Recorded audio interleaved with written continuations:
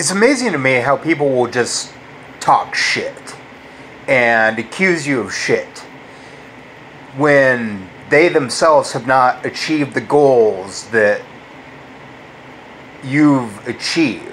They'll be petty and jealous and bitter, and then they'll go ahead on the internet and like say that they themselves have achieved these goals. But they won't show evidence that they've achieved these goals. Like, these ass fuckholes will call you a pseudo intellectual sometimes over the internet. Maybe this even happens in public to some people. But they won't like show a degree. Like even an AA or a bachelor's or a master's degree or a doctorate, they won't show a degree proving that the things that you yourself say are false. Like as soon as they talk shit and then you talk shit about them back, they shut their fucking traps. Which gives you enough time to block them because they're embarrassed of the fact that they themselves are degenerate pigs and trash. But they think that they should just be able to come up and like pretty much break social rules and sometimes even like real rules and real laws. Just to be rebellious because the law gave up on them or they're just stupid. And like you notice on my videos where it's like I'll, I'll say like or dislike this if you like this. And then I'll have a topic. Then I'll wait a couple hours or maybe a day and then I'll come back and take a screenshot with like a laugh emoji and put it on Facebook because what I had said was if you like this or dislike this it doesn't matter to me. I'm going to take it to mean you like this. So press thumbs up or thumbs down and for this video it confers that you like this. And then I'll, you know, I'll prove it. And it just makes me laugh, you know. It makes some of my friends laugh. To me it doesn't matter if it's one person or a thousand people laughing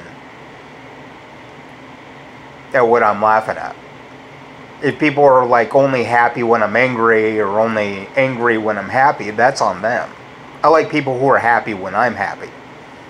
But it's like I've had to like train people, and that's that's okay because it's like I will understand how something is funny because uh, you know you're funny when you're laughing about something as you're writing it, and then you look and it's not like two rated R and it's not two rated G it's kind of in like a nice PG or PG 13 level to where it's not like too gross or too mean spirited.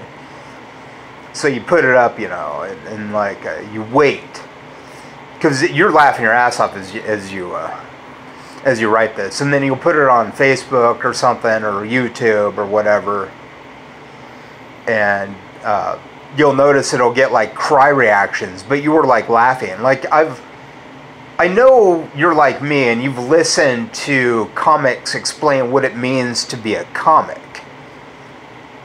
Uh, where they'll be like writing something and they're laughing their ass off as they're writing it, so they know they're funny. So there's people out there in the world that would find it funny.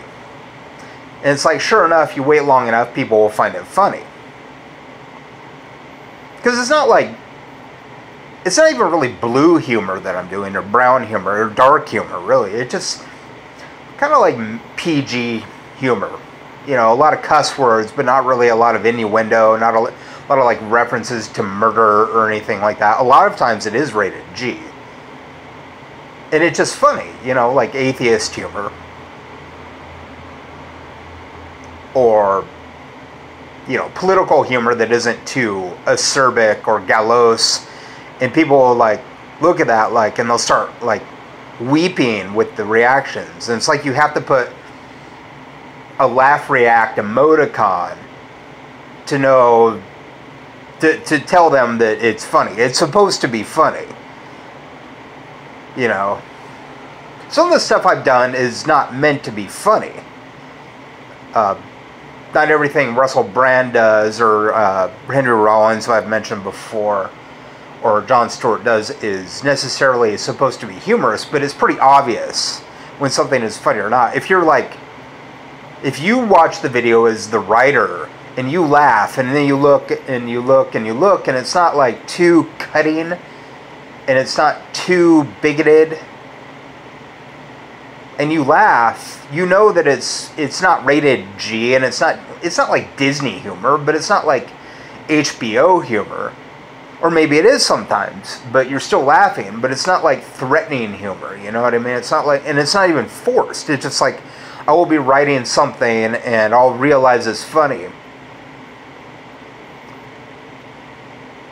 Because I've been with friends before where I've laughed at things that we all in the group find funny. So it's like I know my audience is out there because I've made my friends laugh. I mean, you've noticed my Facebook plenty enough to know that uh, I've said some things that are funny and meant to be funny.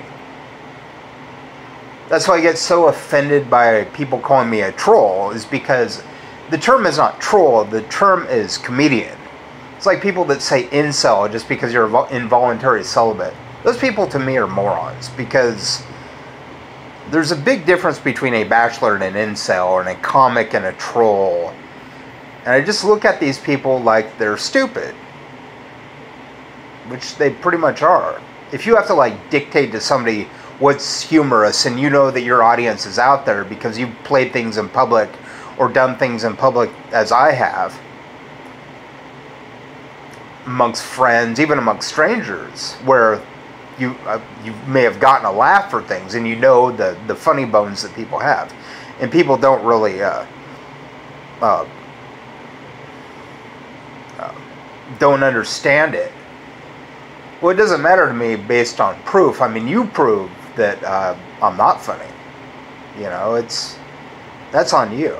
I'm sure you can get moments where I'm not funny but I know when I'm funny, and I know as a comedian on the internet what's funny and what's not. And I know that being called a troll is not funny, but they do it. So I just say I'm not a troll, but I am funny, and I block them because there's no real reason to hang on to people gaslighting my uh, work because I see it as art.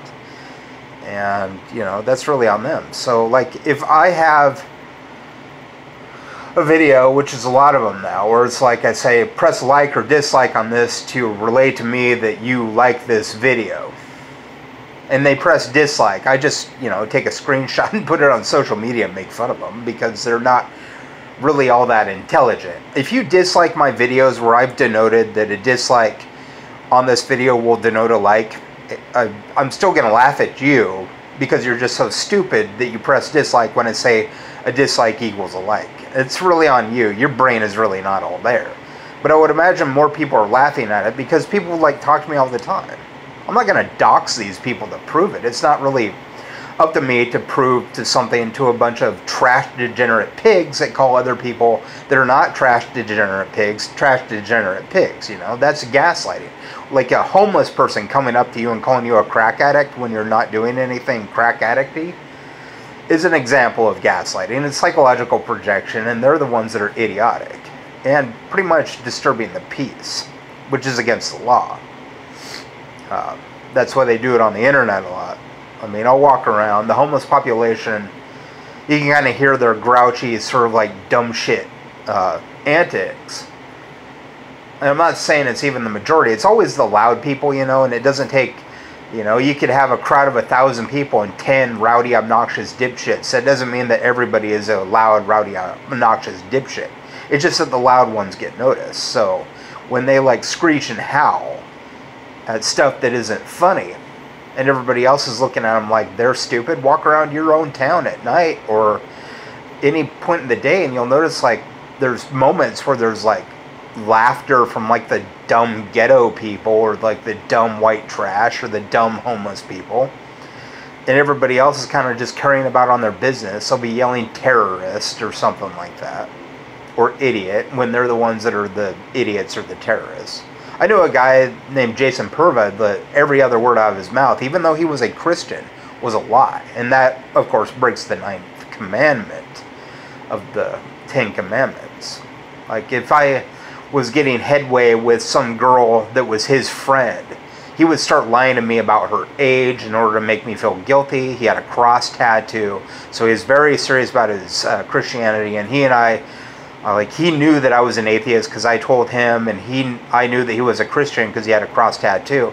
We never really discussed religion, but the dude like lied all the time, and like every like Christian or religious person that I've ever met has been like a total liar, or um, or like a bigot or a drug addict or just like a bad person.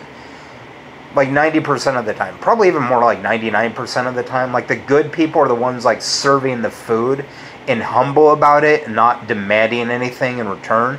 But the ones that are like giving and demanding things in return, it's okay to want things and to have desires and to mention that you help people.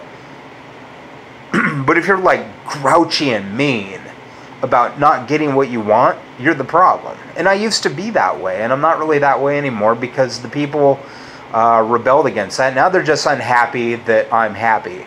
And like you hear people like talking shit sometimes, and like you'll you'll think, well, that doesn't make any sense because there are times when they'll be talking shit, and like a whole group of people will come up and, and say to them, you know, you guys are talking shit and you're the ones in the wrong and you know that's true because like in your head you're thinking this isn't right they're doing this all in reverse they're saying things that are the opposite. They're saying things about themselves that are actually about other people.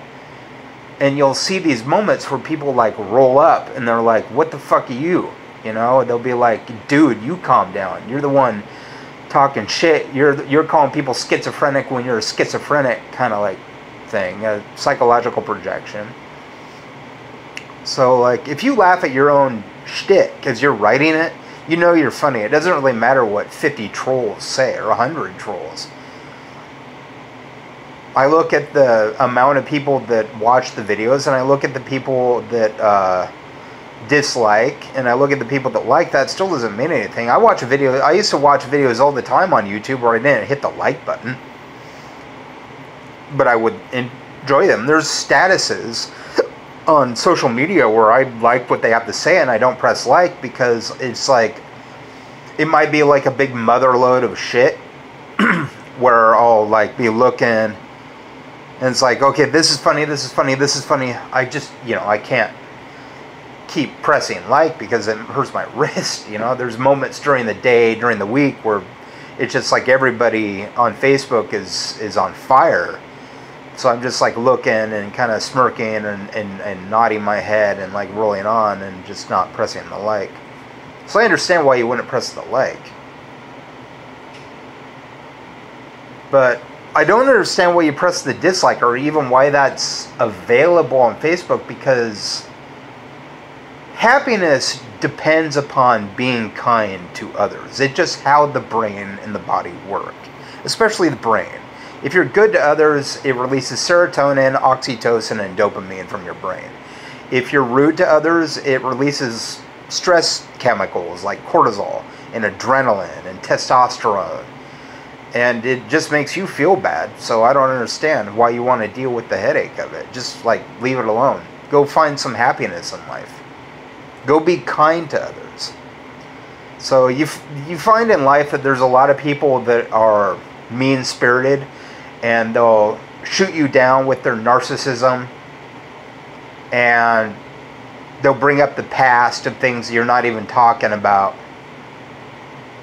and they'll act like the expert on things when they have no credentials whatsoever. It's like who the fuck are these people?